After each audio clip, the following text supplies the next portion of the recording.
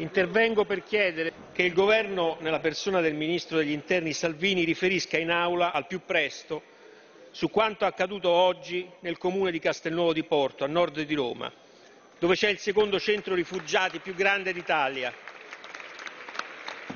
Il centro rifugiati è stato sgomberato questa mattina, 320 persone sono state portate via. Nessuno sa che fine faranno, né il sindaco di Castelnuovo di Porto, né il comune e tantomeno i rifugiati stessi. Non c'è stata nessuna comunicazione preventiva tempestiva, nemmeno al personale di servizio del centro. Tutto è stato organizzato in 24 ore. Sembra solo ad oggi che i ragazzi verranno dislocati in altre regioni, ma non si sa dove li ricollocheranno, in quale città e in che tipo di struttura.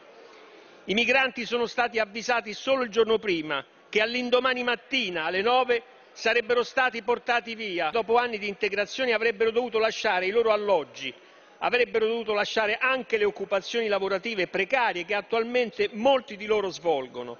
Molti non hanno nemmeno una valigia. I bambini dovranno interrompere gli studi e c'era chi era arrivato alla seconda media. Chi aveva trovato lavoro ora dovrà lasciarlo. Ci sono donne che hanno vissuto anni molto duri e molte hanno un bimbo con sé. Chi verrà portato via perderà il diritto di difendersi perché l'avvocato è di nomina regionale e cambiando la regione dovranno ricominciare da capo. Chiediamo che il Governo riferisca in aula su questa vergognosa operazione di vera e propria deportazione. Essa stravolge i principi della Costituzione, oltre alle norme elementari di rispetto della persona umana.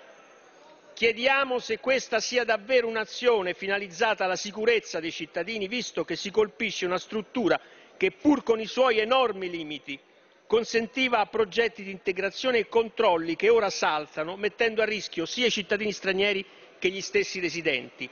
Queste sono le conseguenze della norma sulla sicurezza recentemente approvata in quest'Aula, del cosiddetto decreto Salvini.